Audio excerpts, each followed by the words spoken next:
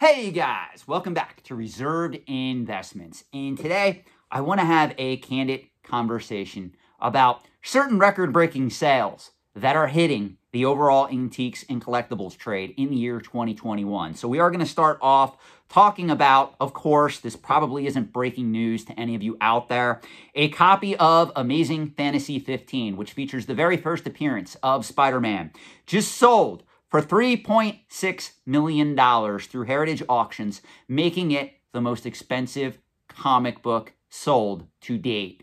This particular copy was graded in CGC 9.6 condition. Now, for those unaware, there are currently four copies of this book that have been noted as being graded by CGC, according to the population census, in 9.6 condition. So there are three other copies of Amazing Fantasy 15 out there in 9.6 condition at present time.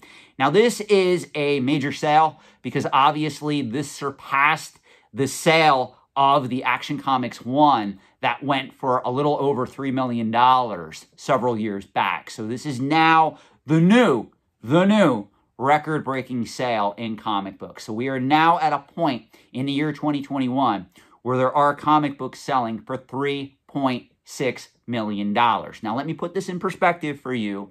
We're still not at the level where rare coins are at, where we have rare coins that are selling for close to $20 million.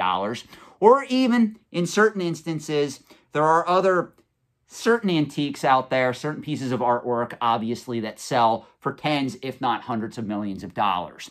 So we're not anywhere near those price points, but this does increase the market cap value of comic books on the market by and large. So I just want to make that point very clear. This is a historic sale when it comes to looking at comic books right now in the year 2021. I want to be very careful how I word that because, in the grand scheme of things, I don't consider comic books to be truly historic. Comic books are a piece of nostalgia that we all have an emotional attachment to, whether we read the original comic books or we just have an emotional attachment to the characters that they represent.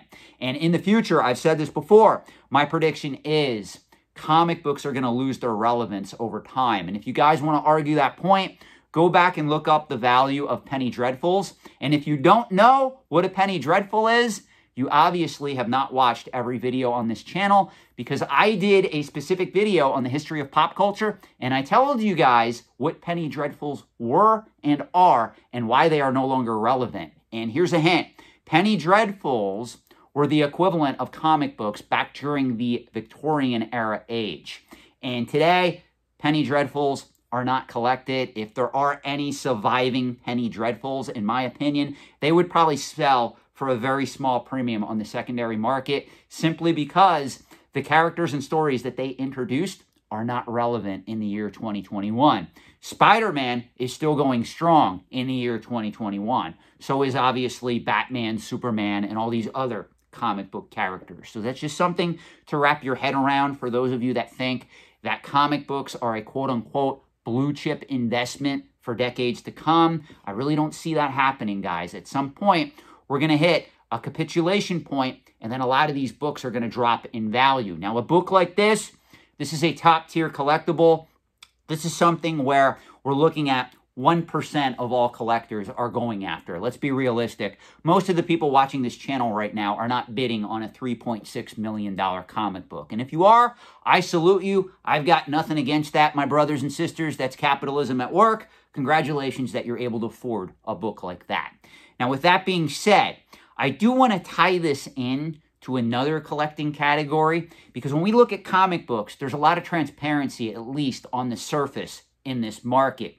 Notice I did not say that market manipulation and unethical behavior does not exist in the comic book collecting category. Make no mistake, it does. We can spend all day talking about the amount of pressing that goes on behind the scenes with a lot of comic books and collectible comic books specifically. And we can also talk about market manipulation in this collecting field as well, because I assure you, it does exist. That being said, this market has more transparency than that of graded video games at present time. And again, by me saying that, a lot of you guys are going to take that as an attack on Wata Games. I want to be very clear.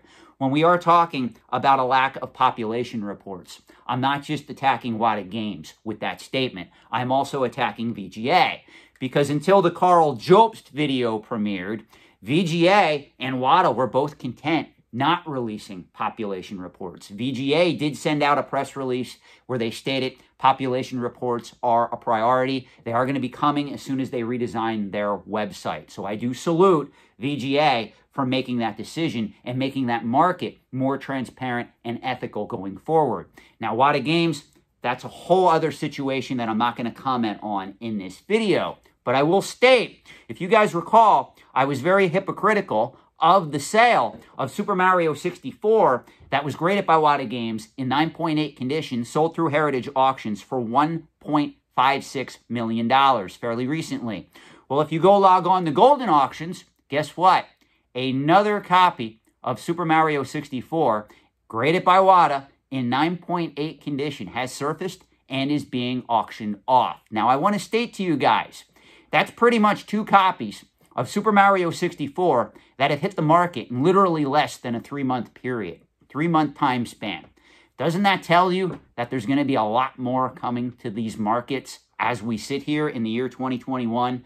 That should cause some of you out there who are defending the market manipulation that is going on in the market for graded video games. That should cause you to have a little bit of pause and say, you know what? Maybe there is something here that's going on behind the scenes. If everything that Karl Jobst talked about, everything that Pat the NES Punk talked about, everything that Sean with Reserved Investments has been talking about for the past two years hasn't resonated with you, let the fact that in a three month span, we are seeing a second copy of Super Mario 64, graded by WATA in 9.8 condition, hit the market. And I can tell you firsthand, there's going to be more because remember, guys, hint, hint, I am a consultant in the antiques and collectibles trade. There are people that come to me and say, hey, Sean, I'm sitting on this particular item, or I have X number of copies of this, or here's a picture of my collection. You know, tilt your head to the lower right, you're going to see a factory sealed case of this particular item or collectible. One of the biggest mistakes we make as collectors, and I want to speak to you all in general on this talking point, we have an emotional attachment to these items. So we tend to overvalue a lot of these collectibles on the secondary market by and large. That's why I do understand, as much as I don't agree with this, I do understand why certain people who have a thing for video games come to me and say, Sean, you don't understand. It's Super Mario, it's a cultural icon. I get where you're coming from, but I've said this before. The market for antiques and collectibles is very small. It's a niche market. When we compare it to the real estate market, when we compare it even to Wall Street, to the financial markets, most people will never in their life spend more than $1,000 on an antique or collectible, whether that's a video game, whether it's a comic book, whether it's a vintage toy, whether it's a rare coin, whether it's a piece of currency. Please be careful in these markets, guys. Please use your head. Please use logic. Please use common sense.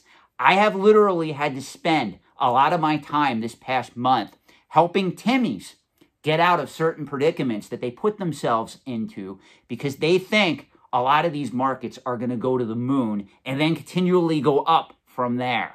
That is not how these markets work over the long term.